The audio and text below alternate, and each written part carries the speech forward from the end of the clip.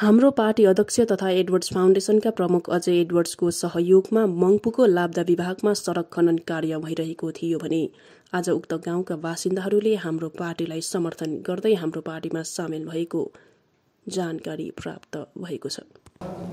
र आज दिनाङ्क छ तारिक दुई हजार बाइसको दिन हामी सम्पूर्ण मङ्पु लाब्दा समष्टिबाट डाँडा गाउँबाट तिस घरजना तिस घर हामीले हाम्रो पार्टी अजय एडवर्डज्यूलाई हामीले यहाँ समर्थन जनाउँदछ जनाउँदछौँ। र उहाँको किन समर्थन जनाउँदछौँ भन्दाखेरि हामीले उहाँको कार्यहरू एकदमै गाउँ बस्तीतिर गरिब दुःखीलाई हेल्प गर्ने र यस्तै देखेर चाहिँ उहाँलाई हामीलाई धेरै माया गरेर चाहिँ उहाँलाई हामी समर्थन गराउँदछौँ।